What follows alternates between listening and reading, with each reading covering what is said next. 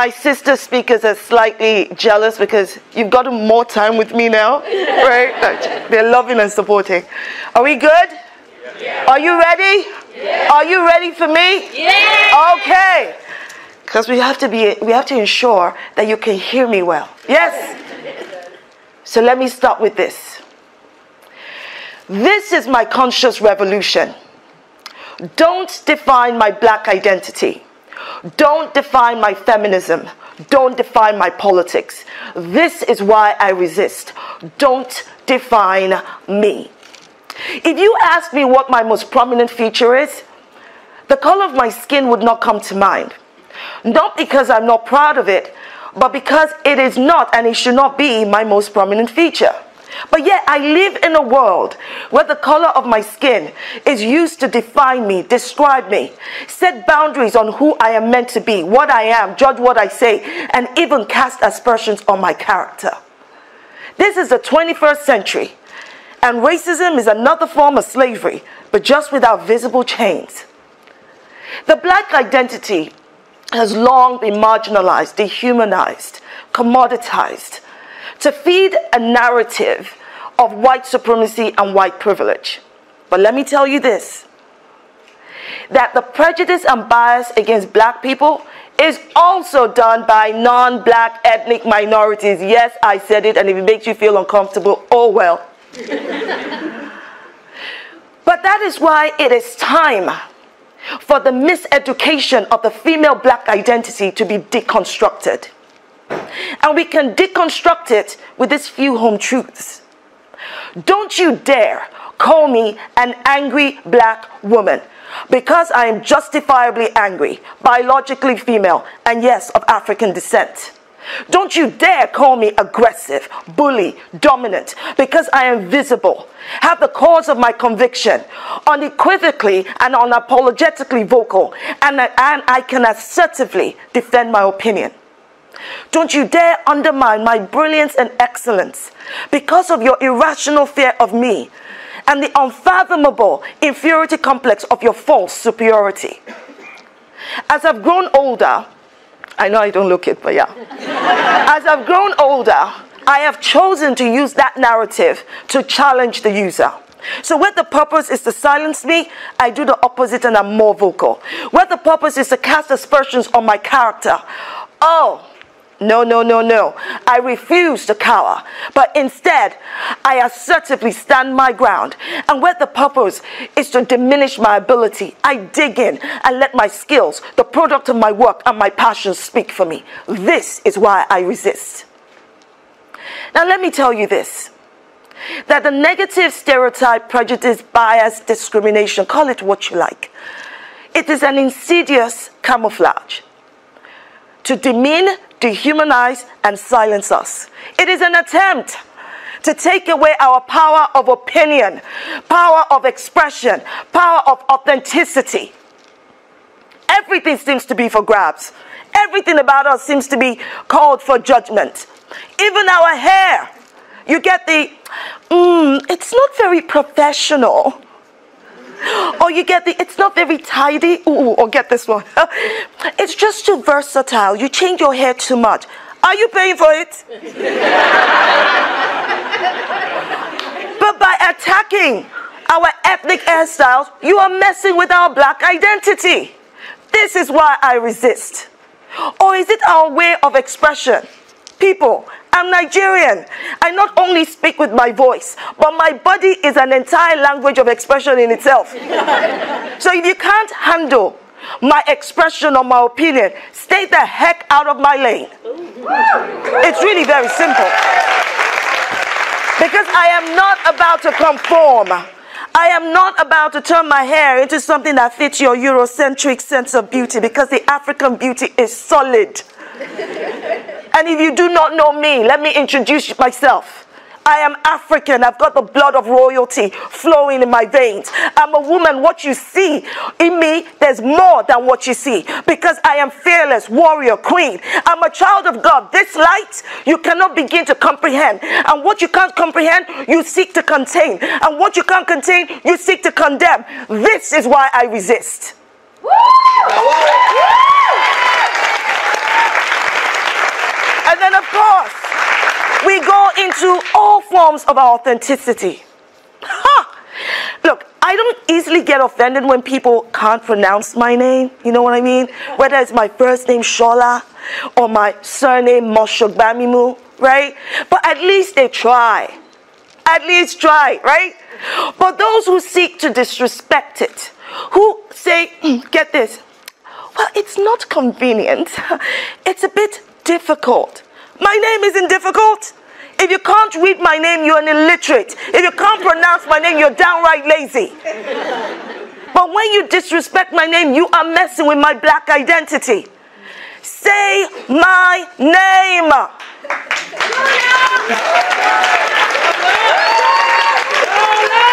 You have to understand that when you say an African name, you have to say it with the right attitude. People, because African names have character, power, and personality, just like its owner. and you have to understand this that by not saying our names, it is a visible exclusion. It might come across as subtle, but whether it is at work, in schools, in our communities, the problem there is by pronouncing everybody else's name, and you just go, and we have our legal counsel, Shola. Really? Like, I don't have a family with a family name just because you don't think it's convenient enough to say it. So sometimes I've resorted to helping them out. I go, say my name, say my name. say my shook my beam, you know Shola's around you. Come on. Say my name, say my name. You know Shola's around you. Say my shook my beam. Look, I am proud of my name. I am proud of my authenticity, of my way of expression. I am proud, I'm proud of my opinion. There is no to me in this world. You might find another Shola, but it will not be me. And the same applies to every other black woman. Give us the respect we are due. This is why I resist. Feminism.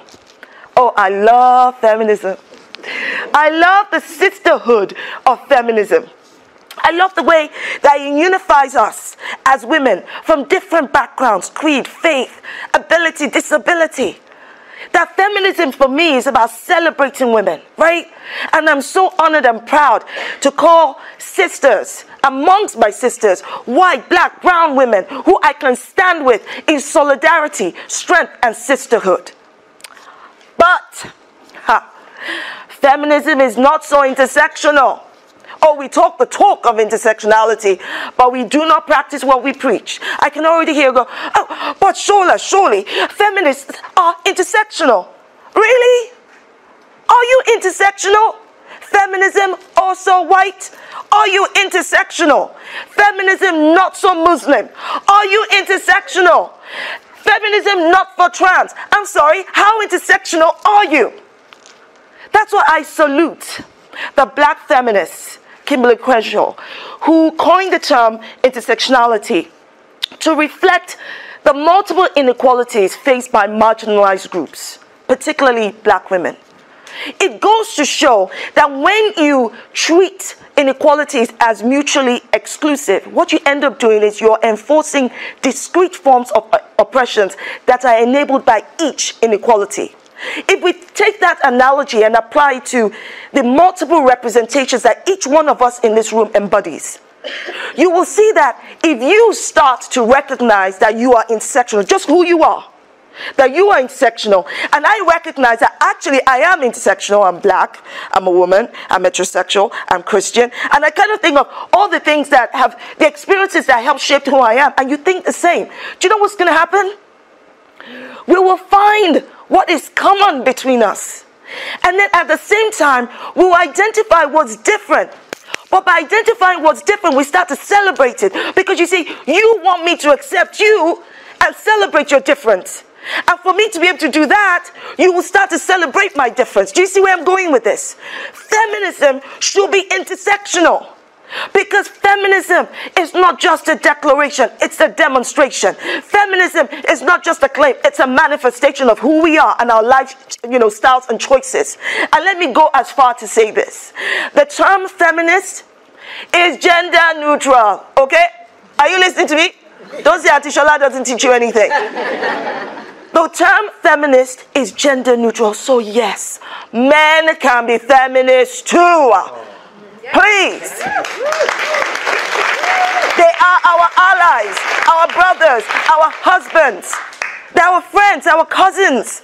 There's some of them who actually get it. Let them be. So I want to say that for me, in this feminist movement, Feminism should not just be about getting equal outcomes and opportunities in comparison to men. Feminism should also be about freedom from the prejudice, bias, and oppression within the women's movement. Women, let's stop judging each other, okay? And accept each other as we are. Let's not bring our latent prejudice and bias into the very thing that is meant to make lives far better for us. Let us be different. This is why I resist. Ha, politics. Oh, politics. I don't know about you, but the politics today does not represent me. It does not. The politics of division, the religion of hate, the complicity through silence that enables far right populism and far left ideology. This is not my politics. This is why I resist. This is why I say that you and I can shape politics today through active citizenship. That through active citizenship, you and I can ensure that the old politics and politicians are no longer recycled. We can ensure that there's no more resurrection of these old structural reforms that are steeped in patriarchy and inequality. We can start together to build new foundations that break away from those structural reforms that choke us. Because, yes, my brothers and sisters, the laws, policies, processes, and procedures in place today that are meant to enable fairness, equality, they are meant to ensure independent, well, financial and economic independence for all. Those are the very things that are suffocating us. This is why I resist. It is time to be visible. Get to the front of the march, literally and figuratively. Become and exercise the power that you are. We often think that government is the power. I'm here to educate you. Okay? Government cannot possibly be the power because we are the government, not those elected officials. We put them in there. We, the people, are the shareholders of this country. Those elected officials, they work for us. That's why they're called public servants. But we have to take responsibility on how we shape politics through our voice, our values, and our votes. Because if you truly do not want your integrity to be compromised, if you truly do not want the wrong form of representation, then you have to stop being complicit through silence. You have to stop the lazy media consumption. We have to do so much more than just wait for things to happen or make it somebody else's problem. Because if you don't start to see that politics affects the food on your table, clothes on your back, and the roof over your heads, brothers and sisters, then you're part of the problem. If you say, well, well, there, it's okay, the politician only said the little fib, it's a lie. There's no other way to describe it. A fib is a lie, and untruth is a lie. It is a lie. Don't tolerate it. Don't let us, we should not continue to allow division. Because that division, even if you don't feel it applies to you today, it will apply to you tomorrow. Understand that. If you see somebody attacking your Muslim sister and you say anything because, well, you're not Muslim and really isn't, it's not your problem, I promise you tomorrow it will be your problem. And if you don't start to have somebody else's back, who's going to have your back? We have to be the change and representation we want to see through active citizenship. This is why I resist. Because my politics, my politics says if one of us falls, then all of us fall. But if we stand united, then we can never be divided. Are you ready to do something about it? Because I'm not here to just talk at you, which I can't, but that's not the point. Are you ready to do something about it? What are you going to do about it? What is it that triggers you? What is it that provokes you to act? Because that is what activism is about. Simply something that makes you do something different. Are you ready for a revolution? Yes. Oh no, I'm sorry. This ear wasn't listening properly. Are you ready for a revolution? Yes. Are you ready to do something different? Yes. Are you ready to provoke change in your lives? Yes. Are you ready to say no to compromise? Yes. Then give me a beat. Come on.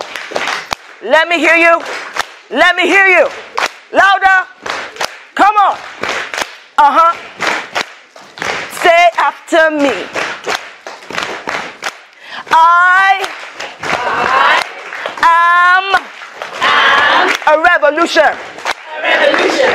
A revolution. A revolution. Say, I, I am, am a revolution.